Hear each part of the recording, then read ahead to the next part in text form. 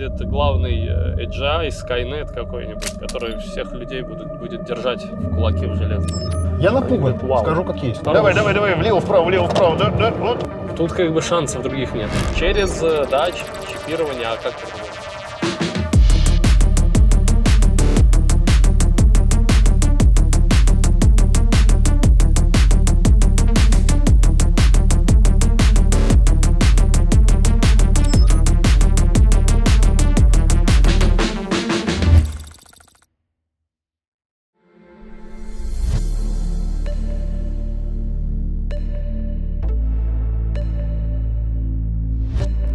Здравствуйте, дорогие зрители. Да, вот, знакомьтесь, а, сей скрытый человек, видите, все скрыто, кепка, очки, все, не узнать, борода. Зовут Руслан. А знаете, почему он скрыт? Потому что это самый тайный работник в сфере ИИ, искусственный интеллект. Скрытый интеллекта. агент. Скрытый агент. Владелец самого крупного медиа по искусственному интеллекту в СНГ. И я ищу машину, которая может дружить с роботом.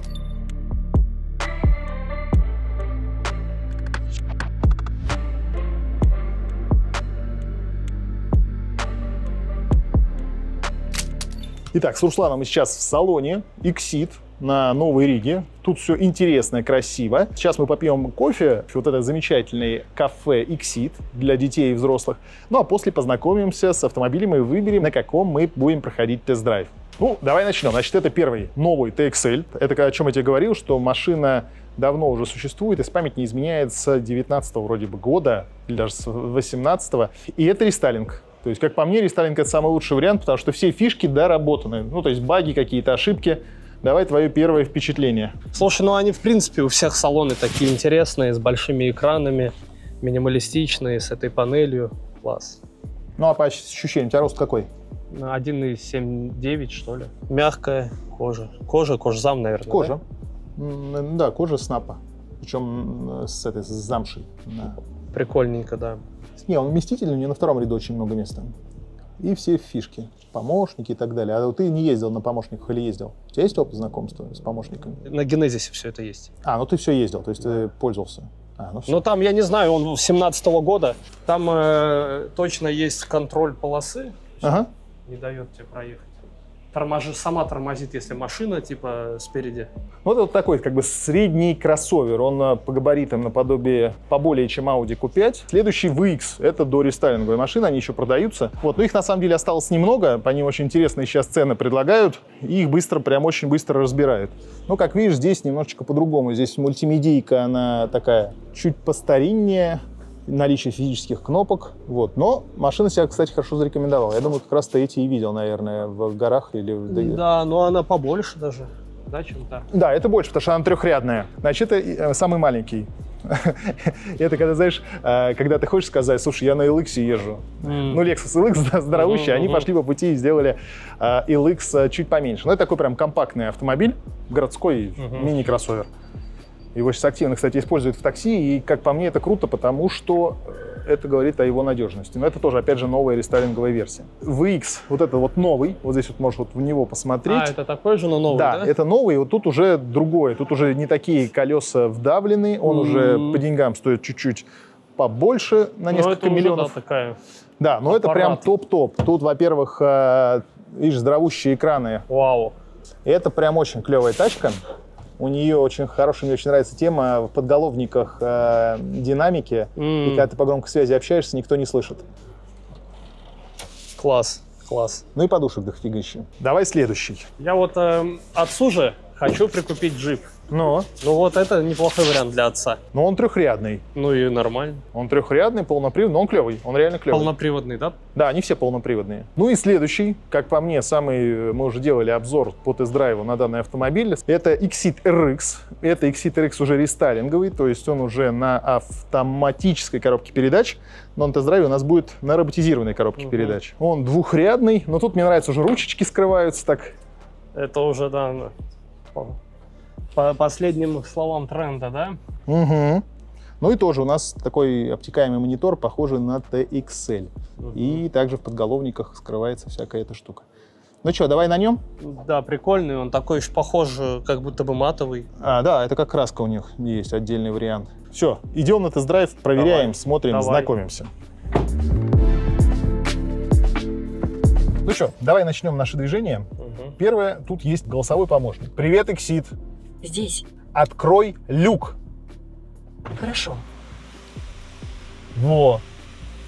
И люди в восторге. Представляешь, машина за тебя все делает. Но я смотрю, тебя это не восхищает. Ну, это да, там, ну, я знаю, как это работает. Ну, а что будет в будущем? Но не в, в настоящем будет лучше. По сути, что у нас э, здесь? Это голосовое управление, правильно? Мгм. Так вот, кроме того, чтобы открыть люк, голосовой помощник может рассказать по пути э, о месте, куда мы едем, что-нибудь интересное. Подобрать э, кафешки по дороге, например. Забронировать там стол, пока мы едем. По идее, может такое уже, если это правильно развернуть, на базе ИИ. В том числе заказать запчасти. То есть не, не просто понять, что у нас сломалась машина или ломается, Ну, ты но подра- это под- еще и само заказать э, запчасти. Но это подразумевается, что будет машина всегда с- на связи с сетью. Ну, естественно. Это же работает сейчас без сети. Ну, понятно, без сети он поэтому и не может нормально развернуть свои возможности.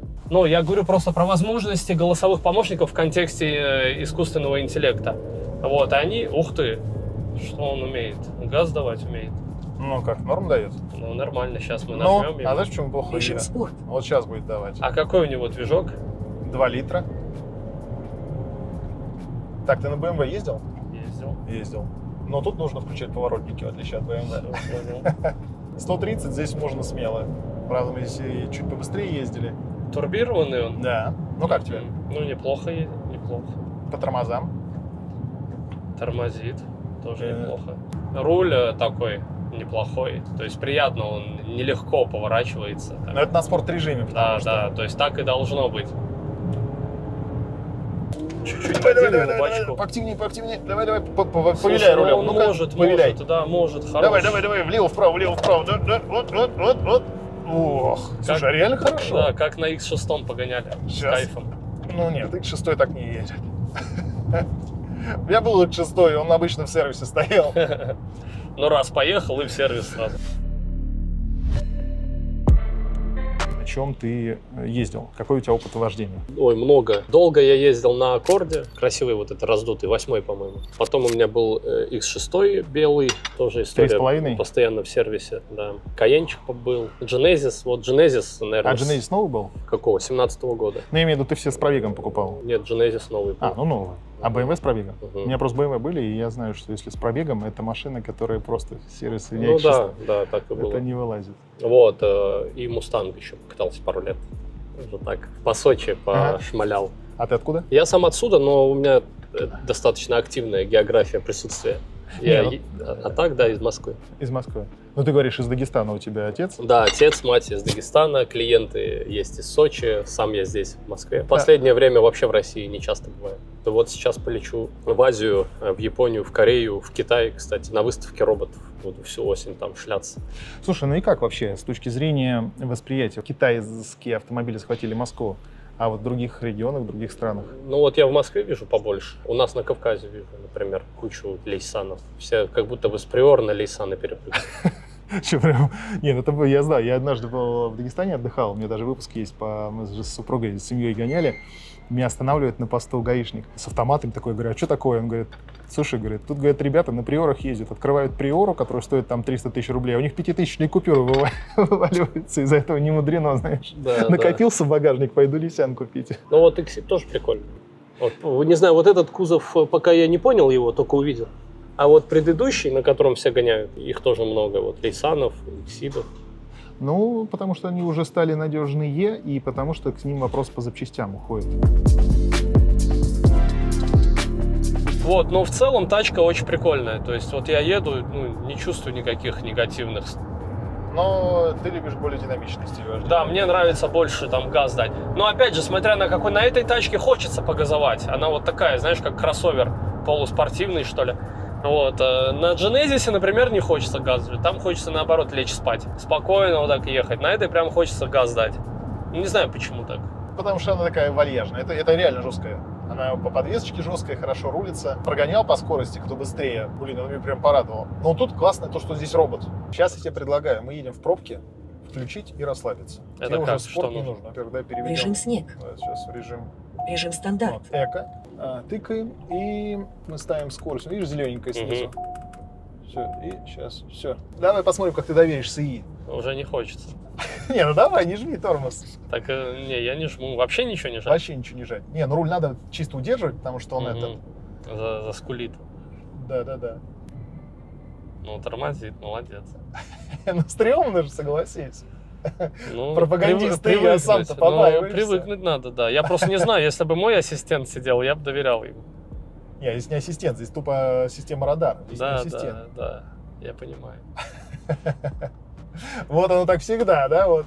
Не, на самом деле это вопрос привычки. Я думаю, можно привыкнуть вообще без Не, проблем. я езжу, мне очень кайфово, я прям вот постоянно в пробках вообще не напрягаюсь, я, ноги у меня вот так всегда стоят, я их со- соединяю, и машина сама разгоняется. Он сейчас и остановится, да, Да. и ничего не надо жать. Да, но единственное, тут более, если смотри, причем как плавненько. Ты не жмешь, не жми. Не жму. И вот сейчас вот он, если вот начнет сам движение, если он простоит более трех секунд, то тогда он, э, тебе нужно будет нажать на Мгм. газ, и он начнет вновь. А сам, смотри, сам поехал, молодец. Ну, офигенно, офигенно. же. Да, это уже, да, похоже что-то на автопилот. У меня отец... Генезис когда- так не умеет мой. Ну, не, ну раньше это, слушай, это было невозможно, потому что это, помню, в Мерседесах было или еще где-то, когда началась тема, оно настолько было слабо настроено, ну, это как, наверное, чат GPT-1 и Мгм, мгм. вот сейчас четвертый, примерно на этом же уровне. То есть вот рядом едет с нами гелик э, старинный, клевый едет, хорошая машина, да, но я понимаю, что у него этих помощников нет, а я, например, выбирал автомобиль принципиально, чтобы вот ездить, не напрягаться. Мгм. Вот как ты говоришь про помощники, я также за- топлю за автопомощники. Прям, ну, особенно если в городе, в пробках, ты вообще не напрягаешься. И она еще и полосу держит. Мгм. Прикольно. Ты замечаешь, подруливает. Да, да, хорошая машина. А? А? Нажал на тормоз, Серж. Ну и все, я уже сам хочу рулить. Все равно в пробках. Ну, это вот видишь. Это вопрос привычки, да. Слушай, ну так мне нравится машинка, неплохая. При этом она стоит почти как Приора, чуть дороже. С чего? Ну сколько стоит? Ну, она 4 с Ну чем-то. как две Приоры. А что, сейчас приоры дорогие? Ну это шутка вообще. Ну по-моему русские тачки тоже 2 ляма сейчас стоят. Ну да, да, да, да, Ну да. вот. Так там ничего нету там. А Слушай. здесь есть все, что есть в каком-нибудь а, Audi за 8 лямов, за 10 лямов. За 10. За 8 не будет. Короче, Exit, по идее, дает тебе технологии, э, которые есть в двойном чеке на еврорынке, да? Да. Ну, сейчас они, знаешь, что мне не нравится? Мне нравится, вот, мне эта машина мала. Вот мне мало, мне она компактна, но ну, не очень там головой, пространство. Но тебе хорошо, у тебя метр семьдесят, тебе прям Мгм. вот я смотрю хорошо, и на уровне стекло находится у тебя, и вообще вот ты выглядишь не так Да, нормально, органично. нормально. Ну и плюс шустрость, тебе нужна динамика. Ты прям руль ждешь, где дырочка, Ну, раз. хочется, да, хочется. Но это сама машина такая, она меня вот что-то настраивает на такую Ну ладно, давай вернем тебя Режим режим стандарт. спорт, что ж Да. делать. Режим спорт. Ты занимаешься нейросетями. У меня маркетинговое агентство, да, последние пару лет мы фокус на ИИ направили. Почему? Потому что маркетинг стал неотъемлемо с ИИ как-то в одну концепцию встраиваться. То есть маркетинга без ИИ нет уже почти. Трафик, реклама, маркетинг. Вот, если человек приходит с каким-то общим запросом, мы говорим про ИИ-ассистента в соцсетях, если что. Вот, он обслуживает вот этот входящий поток. То есть, если у человека простой вопрос, он этот простой вопрос закрывает сам. Слушай, ну а с точки зрения, э, как говорится, гуманизма, Вот смотри, давай возьмем на примере автосервиса. ну, Вот давай представим, что у Exida есть свой ИИ-консультант в соцсетях. мгм. Или, в принципе, в Телеграме, где угодно. Мгм. Вот. Из э, двух тысяч запросов в день, которые приходят, приходили бы к нему, к такому консультанту, 1900 не требуют наличия человека. Они будут про базовые вещи. Правильно? Расход, доход, что-то сломалось, а как Мгм. открутить лампу, а как поменять аккум, а точно ли дадите в кредит, а какие у вас рассрочки, а что в наличии. То есть, ну, это все будут вопросы для коммуникации, по которым человек не нужен. Ребята, продавцы, сорян, я не Да. знал, что он такой лютый, и, ну, что То есть, делать? а в 100 случаях из 2000, конечно, понадобится человек. Там, где, я не знаю, человека, там, не знаю, ну, прям какая-то ситуация сложная. Ну, понятно, Тогда да. бот передает на человека, а так он сам общается. По сути, это чат GPT-4 под нашей должностной инструкцией работает. У нас была э, съемка тоже на Exide. Он занимается фитнес-обучением, чтобы у тебя был фитнес-тренер, который тебя, ну вставай, кожаный мешок, иди занимайся, сейчас это... Элементарно. За 10 минут можно э, ну, базовую версию такого тренера развернуть. Да ладно. На- настраивается все очень легко. По сути, он может имитировать деятельность любого человека, любой профессии. Вот и все. Другой вопрос, что, допустим, э, хирургом там никто не даст ему быть, потому что много рисков. А фитнес-тренером why not? То есть реально любого, а продавца может заменить? Вообще легко. У меня аж заменен уже больше года. Да Мой ИИ-бот обслужил 100 тысяч человек, сделал 10 тысяч сделок и полтора миллиона раза им помог этим людям чем-то, отвечая на их вопросы. Вот, пожалуйста, тебе автоматизация, кейс. Пока другие там картинки удаляют, я уже год плюс.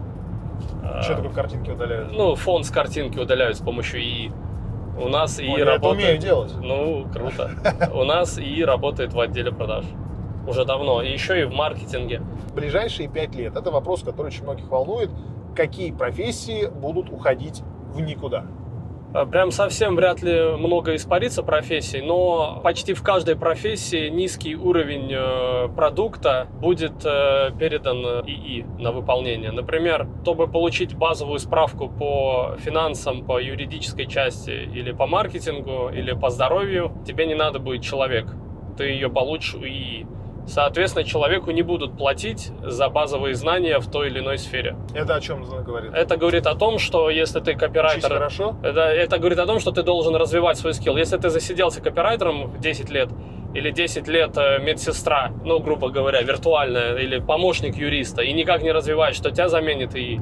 То есть э, замен... ну, смотри, то есть ИИ вы- выполняет интеллектуальную работу дешевле в сотни раз и в сотни раз быстрее. Но пока не очень сложную интеллектуальную работу.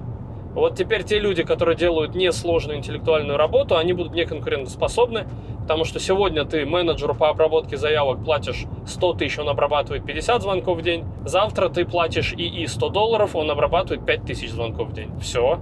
Ну, какой дурак будет продолжать у человека покупать эту услугу? Но а, когда мы говорим о sales менеджменте более сложном, да, где Мгм. есть пресейл, подготовка, прение сторон, документы, счета, ну, то есть где более длинная задача, Да. там ИИ пока не сможет выполнять такую задачу. И так везде. То есть первичный юридический консалтинг будет делать ИИ, сложный будет делать человек. Поэтому юристу, кто не умеет э, сложные э, кон- продукты юридические качать, ему придется несладко.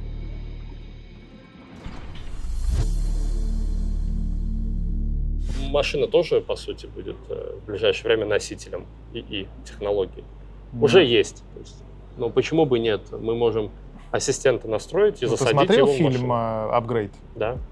Вот этот момент. Это очень интересный фильм, советую всем посмотреть, потому что когда я его один раз увидел, потом второй, третий, это просто великолепное кино. О чем говорить не буду, но там как раз про будущее, про искусственный интеллект и так далее. Ну вот прям обязательно к просмотру. Но вот тебя этот момент не пугает? Нет, я жду. Почему? Ну, любая интеграция, это киборгизация. Да, это прикольно, это круто. Слушай, я пять часов стоял в 20 километрах на серпантине в Сочи. И я понял, что я очень любитель топить за все современные технологии. Адаптивный круиз-контроль, функция слежения за полосой движения. Я такой, это нужно, это обязательно. Но это нужно вот здесь, когда ты по трассе. А я понимаю, что на серпантине это вообще ненужная штука.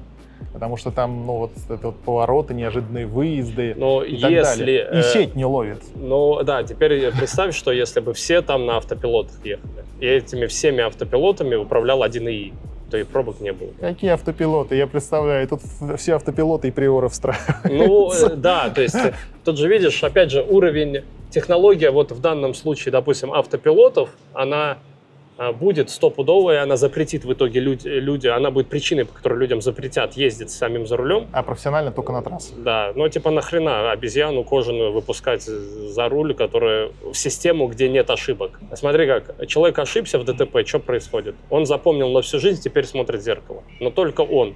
А если ИИ ошибается в ДТП, то все остальные автопилоты тоже об этом узнают и такую ошибку больше не повторят. Просто людям будет запрещено права иметь. Или это будет очень Да, дорого. погоди, а. не, он настоящий. Да, я кожаный. Поэтому очень прикольно будет. А это десятки тысяч э, жизней только в России спасается каждый год, например. А по миру это сотни тысяч.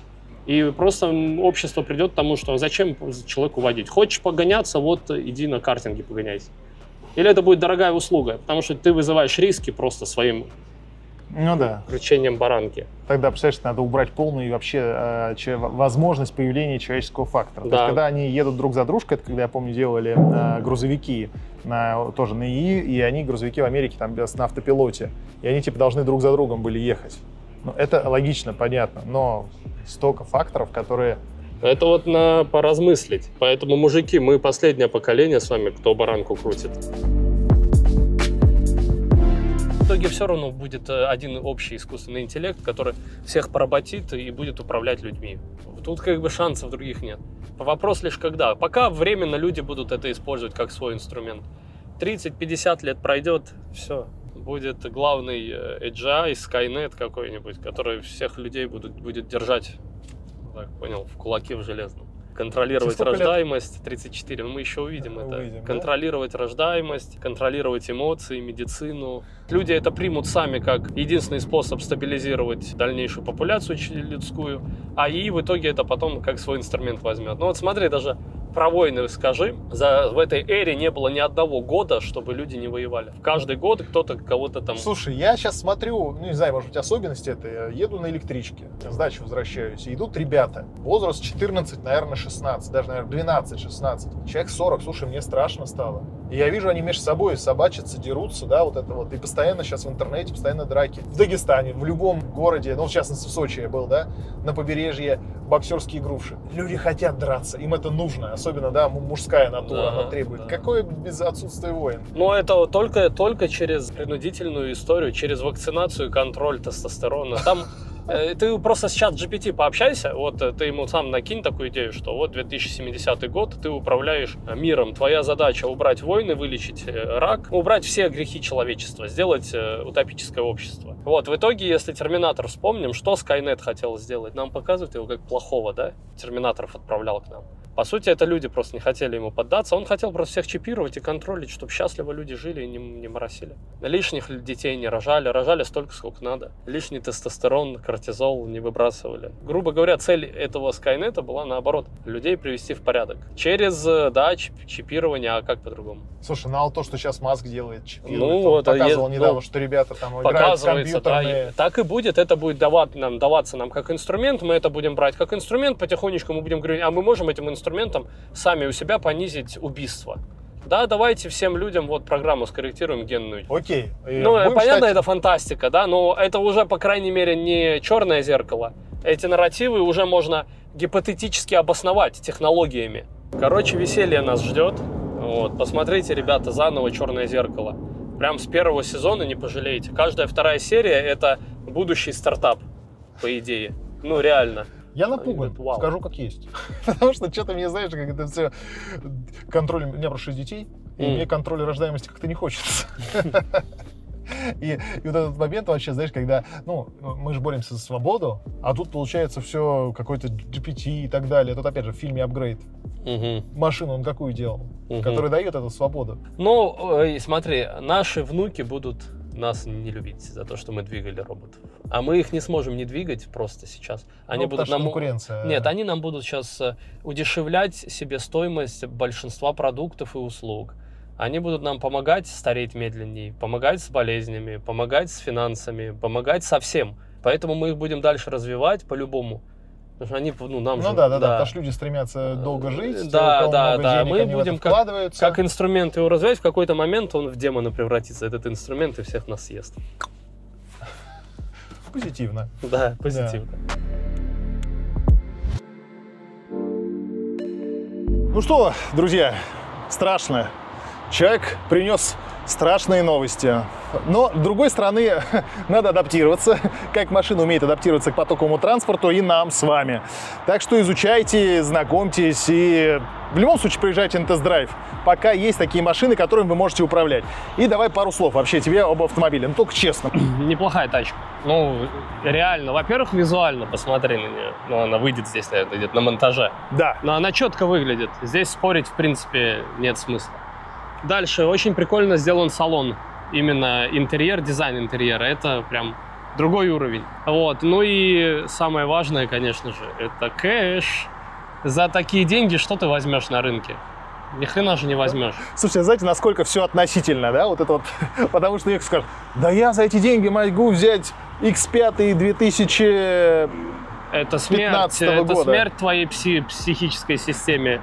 Нет, не возьмешь ты, ну, новый X5 стоит 20 миллионов, ну, 15-20 и пошел. Ну, это понятно. Ну, а что, с чем сравнивать тогда? Ты ничего Ну, не возьмешь в этот бюджет, поэтому Э, Ребят нормальные тачки делают. И я так понимаю, что и бренд уже себя зарекомендовал. Да, это факт. Это Ну, бате, я бате возьму джип такой. Сейчас мы выберем. Поедет в горы Дагестана он. Спасибо тебе, что познакомил нас с нашим будущим. Страшным, но очень интересным.